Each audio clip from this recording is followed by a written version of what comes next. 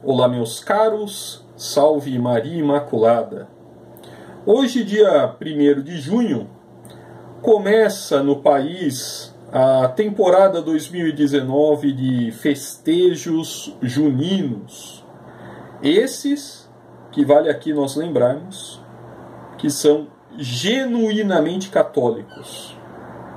Muitas cidades do Nordeste e do interior do país terão seus festejos em homenagem aos santos.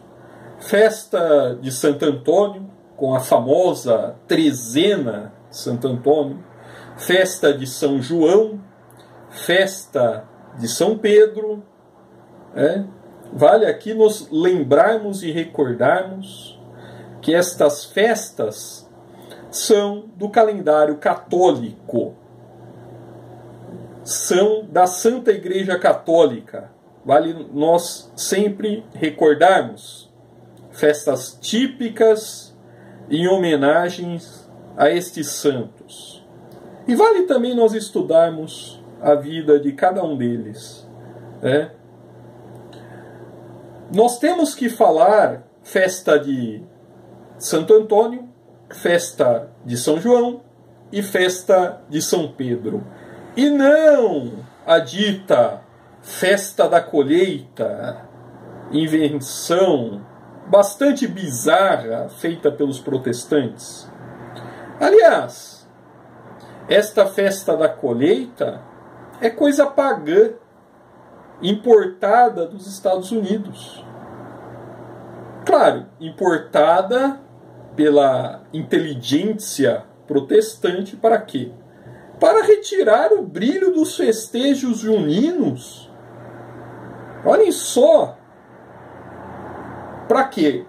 Para, no caso, falar que nós não vamos chamar tal festa de festa de São João, festa de Santo Antônio ou festa de São Pedro, para não magoar as pessoas que não são católicas.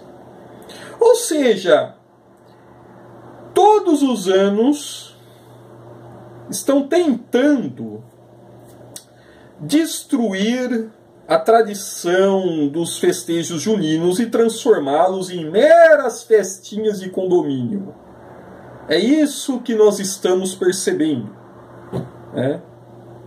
E deve ser chato para Dedéu esta festa da colheita. Não deve ter bebida alcoólica, né? esqueça então quentão e vinho quente, né? Porque protestante não bebe, né? Não tem música de quadrilha, aquelas músicas tradicionais, né? Falando de Santo Antônio, São Pedro, São João, não deve ter, com certeza. Eles não acreditam nos santos.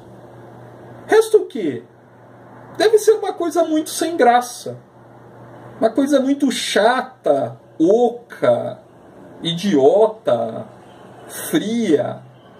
É. Você vai lá no supermercado, compra um pacote de paçoca, é, um bolo de milho, compra um guaraná quente, aí é festa da colheita. Bota umas bandeirinhas assim, Lembrando que as bandeirinhas vieram também dos festejos católicos. É, eles trazem as bandeirinhas, mas não trazem, claro, o resto. É. Que tipo de música deve tocar? Música gospel? Música. Ou deve colocar música secular? É. Bobear deve colocar até funk. É.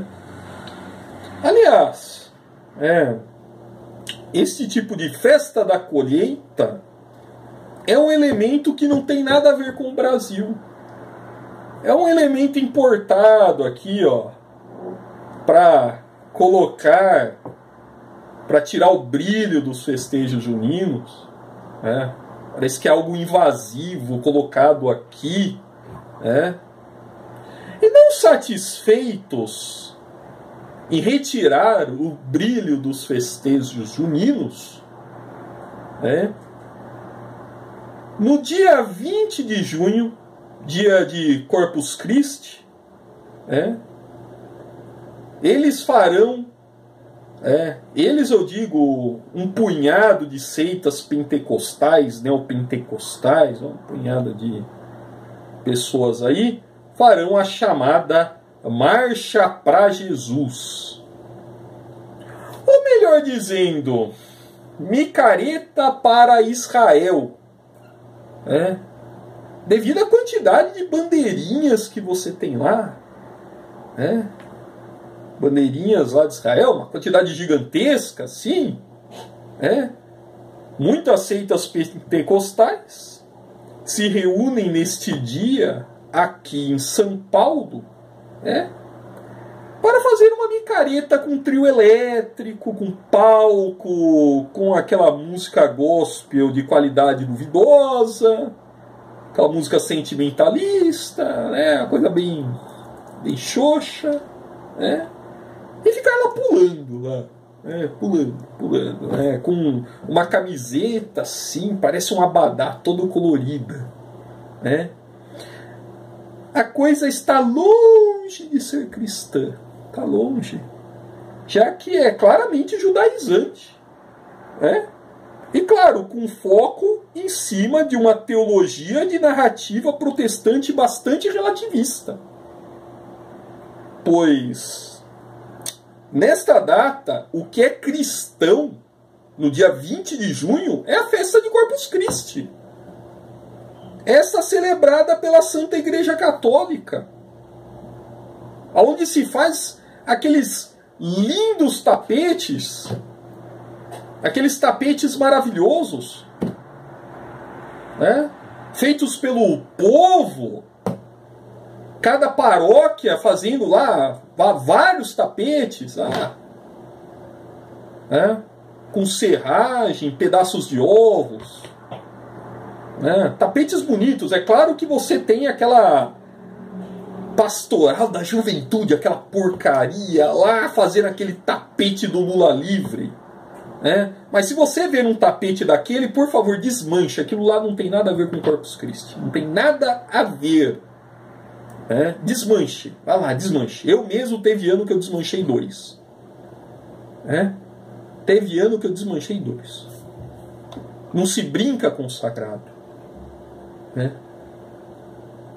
Mas esta micareta que os protestantes fazem, juntamente com a dita festa da colheita, é claro, feita para tirar os sinônimos das datas católicas.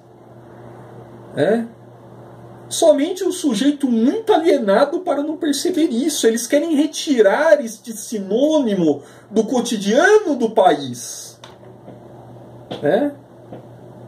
Eles querem retirar, querem que o povo esqueça. Esqueça que tem festas juninas comemoradas em nome dos santos. Você tem a trezena de Santo Antônio, a festa de São João, a festa de São Pedro. Né? Santo Antônio casamenteiro, até lembro muito bem.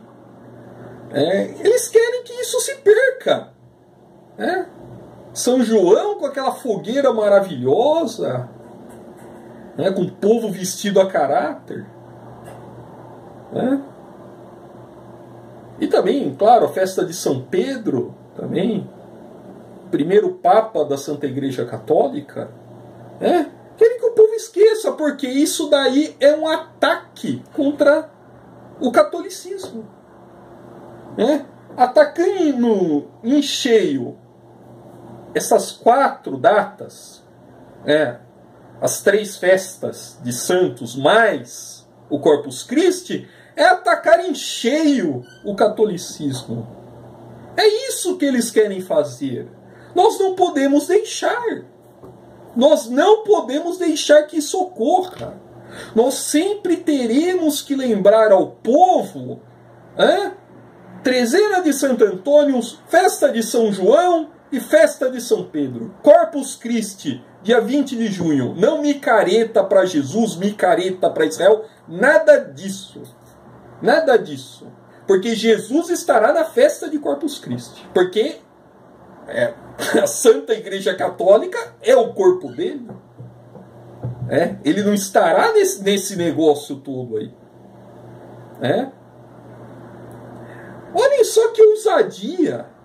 É uma ousadia muito grande. É. Esse pessoal chega aqui do nada e quer retirar do cotidiano as datas. É. É uma das coisas assim mais irritantes que eu já vi. É. Querem apagar os festejos juninos e apagar Corpus Christi. é, é, uma, é uma coisa assim terrível, né? Já que são datas católicas, o qual o protestantismo despreza. E muitos deles têm raiva ainda. É? Que Deus nos dê forças. Que Deus nos ajude. Né? Aguentar esse pessoal. Vamos rezar. Vamos rezar. Falta para o povo rezar aqui. Né? Falta para o povo, no caso, se tocar. Ó, ter um insight, alguma coisa aí e começar a, a falar para as pessoas. Falar no seu trabalho, no, no seu lugar aonde você frequenta, na escola que você estuda, na universidade que você estuda, na sua família, para os seus amigos, que essas datas são católicas. É? Você, como católico, é chamado a fazer isso. É? Você é chamado, você tem um chamado de trazer a memória das pessoas sobre essa data. Sobre essas datas. Né? Vai lembrar aqui. Tá bom? Volto mais tarde, pessoal. Por favor, se inscreva, viu? Passe esse vídeo para os seus amigos.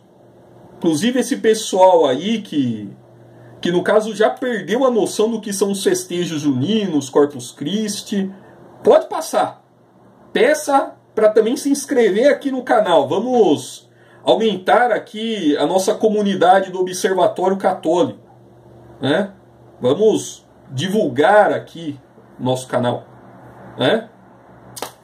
Siga-me no Twitter, arroba Ribeiro Católico, no Instagram, arroba Observatório Católico. Te espero por lá, tá bom? Deixa seu like aqui. Um abraço, até mais.